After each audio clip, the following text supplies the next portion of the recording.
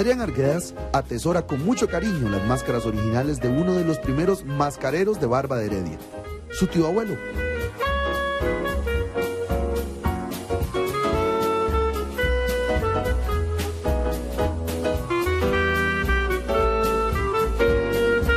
Estas son las máscaras de Carlos Salas Cabezas, que es mi tío abuelo, y él es el primer artesano eh, que trabaja en Barba de Heredia.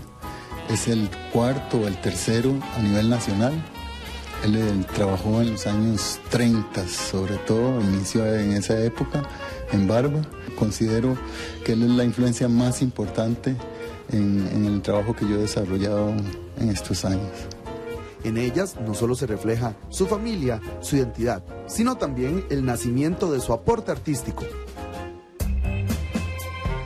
Adrián nos invitó a su taller para conocer sus pinturas y cómo las máscaras y las escenas populares son protagonistas.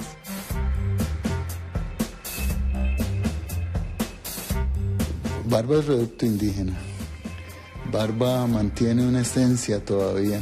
Y yo también dentro de mi espacio he tratado de mantener como ese entorno. Es decir, para mí yo creo que uno de, eh, de los elementos fundamentales para poder sobrevivir, diría yo, ya no sobrevivir, sino vivir, es, es el silencio, es la naturaleza, son las frutas, el viento, el pájaro, los aires, y eso, eso si, si no aprendemos a valorarlo, yo creo que, que estamos destinados a, pues a, a extinguirnos, ¿verdad?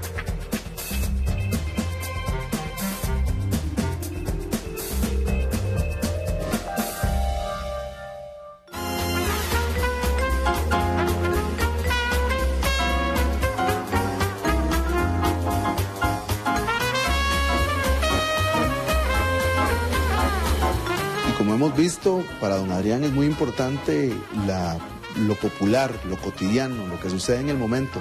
Y este es un escenario, ¿verdad?, muy normal para usted también aquí en Barro. Bueno, eh, la exploración de lo, de lo popular incluye lo cotidiano, incluye el diario. Yo no trabajo escenas extraordinarias, trabajo con, con la gente del pueblo, trabajo con, con, la gente que me encuentro, con lo que convivo. Y la feria, en el caso de la feria del agricultor ha sido un tema que también a mí me ha interesado. Con más de 30 años dedicados a la pintura y la enseñanza de esta, don Adrián muestra algunas de sus obras en los museos del Banco Central, en la exposición Héroes, Monstruos y otros seres extraordinarios.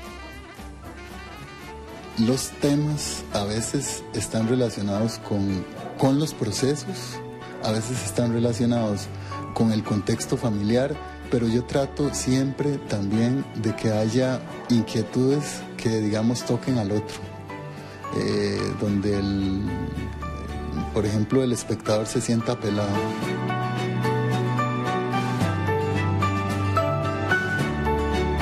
Un enamorado de la cultura que lo vio nacer y que mantiene la tradición de las máscaras, pero desde la pintura.